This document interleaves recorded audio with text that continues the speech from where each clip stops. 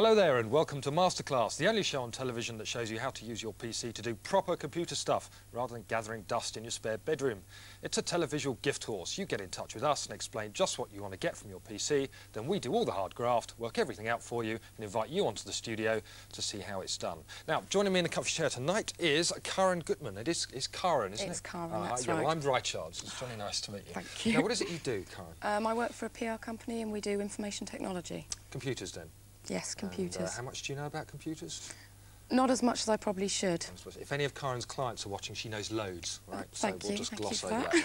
now, Karen's got a problem with her house insurance, haven't you? Yep, that's Okay, right. now, according to your letter, uh, just have a quick look here. It says, Dear Richard, I'm insuring the contents of my house. Have been asked by the insurance company for a complete breakdown of what I own. Well, probably loads, actually, given that you work in PR. How much it costs, and I'd like to use Excel to help me create this breakdown. Is it possible?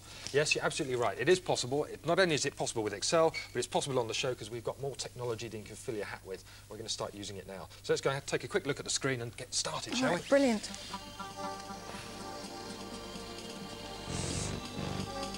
Is it here?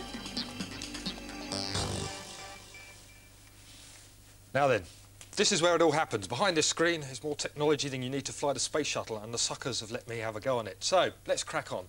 This is an Excel spreadsheet, okay? And the first thing you've got to know about this screen is that, unlike your screen at home, where I touch it, things happen. If you try this on your PC at home, it's not going to do anything, okay? All You'll be so bitterly disappointed. Okay.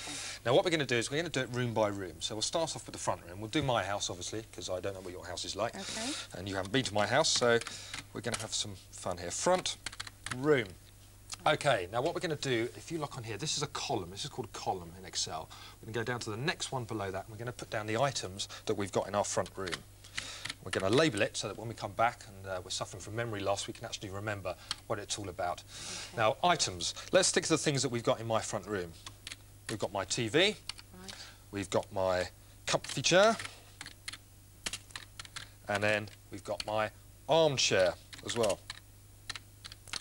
If you ever come around my house, always ask to sit in the comfy chair and not the armchair, because obviously the comfy chair is, uh, well, comfy, really. The one to go for. Um, OK, now, in this next column here, we're going to start putting the value, or the number of the items that we've got in there. We'll do the value in a minute.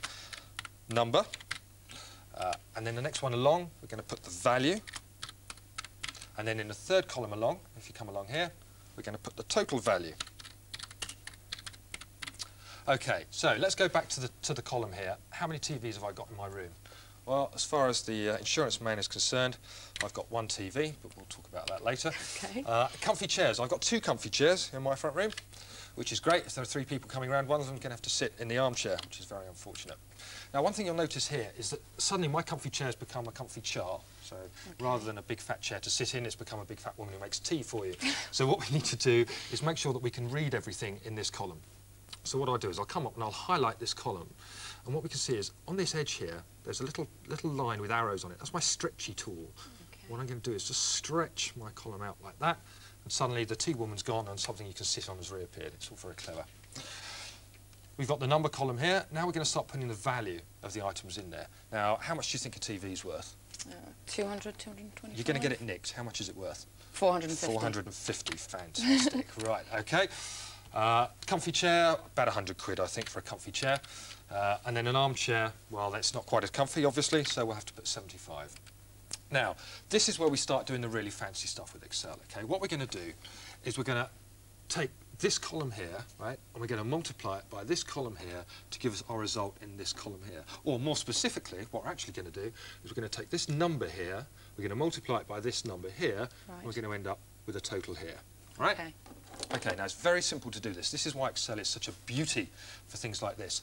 What we need to do is take, uh, first of all, is to put ourselves in our end column here, and we're going to do a sum. Now, when you do a sum in Excel, you have to put an equals sign in. That tells the computer that you're going to do something mathematical. And quite frankly, what's the point of having a dog if you're going to bark yourself? So we're going to put a plus sign, an equal sign in here, not a plus because that won't do anything. We're going to say this equals this one here. Now, that, that line around there, we call that scintillating, right? It doesn't mean it's become more interesting. It's going to tell you stories about its Kenyan safari hunt. Right. That one multiplied by, and we use the star sign, the asterisk on a computer, because uh, whoever invented the computer wasn't smart enough to know that x means multiply by. Multiply it by this one.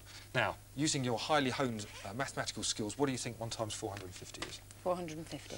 Yes, 450, fantastic. Excellent. Now what we're also going to do, Excel is smart, it knows that we're lazy. As well as being stupid, we're, we're too idle to do anything ourselves. Okay. So what we're going to do is we're going to highlight this box and drag this down. Now what that does is that puts all of our formulas right the way down to the bottom. All right, so now we've got 2 times 100 is 200, 3 times 75 is 225. Right. We do have a problem at this stage, though, because we're, we're, we're talking about abstract numbers. We're talking about cash here, hard money. We want the insurance man to know that we're bitterly disappointed we're making a profit on the burglary. So what we need to do, right, is highlight the cells. We're going to go up to Format, which is up the top here. Follow my finger. Format there. Format the cells, and we get this dialog box up. We're going to put currency as the dialog box. And you can see that we get an example, £450 there. Uh, we could choose anything else. We could choose a percentage, we could choose a text, but at this stage we're going to go currency. £450, and then we press OK, and you see that we've got our stuff that's appeared. Now what we can also do is tidy it up a bit. We can make this column a little bit narrower, change that to number, like that, NO, and then highlight this, narrow it down, so it's looking a bit smarter, and we can uh, centre those as well. Now the great thing, the great thing about Excel, and this is why we use things like this, is we can change the numbers without actually changing the formulas. So say I've got two comfy chairs here. If I change that to three comfy chairs, look what it is. Three times 100 is 200. If I change it to three, it's 300 again. Okay, and that's what it is. So let's change it back to two so that we can keep a constant limp. And that is the first stage of it. We're going to use these numbers, we're then going to go on and do the rest of the rooms, and then we'll add them all up together. Okay? okay. So that's part one done. Let's move on. All right. I'm going to get a total. You are. Excel, do your funky stuff. There we go. £2,525. Someone please rob me. OK, that's the cost that we've got for everything that's in our house. And that pretty much is, is the spreadsheet done. Now, what we might want to do at this stage as well is put a label on it so that when we send it to the insurance man and uh, Joe Blagg, Joe Blagg down the, uh, down the local pub to arrange the robbery, what I'm going to do is call it Richard's Stuff, like that. Uh, now, the great thing about Excel as well is it's, it's got these word processing functions in it. So you can highlight the text and we can make it a bit bigger than it is at the moment. Right. Okay, and we can put a slightly different font on it as well. There we go, Richard's stuff. That's it. So that's it. Now all we need to do is print it off and we can go back and, uh, and send it off to the insurance man. Oh, very flash. It is very flash. Now printing, normally we would use this printer button here, that's the shortcut, but Right. because we're, uh, we're in a bit of a, uh, a hurry and we want to show you some things that we can do with the printer, we're going to pull up this dialog box and that can show you all the things that you can do with your printer. At the moment we're just going to print it as Excel suggests, so we'll press OK and it's going to come hurtling out the other end. Let's go over here, pull it off the printer, and voila, there you go. That is the spreadsheet with all of our stuff on it.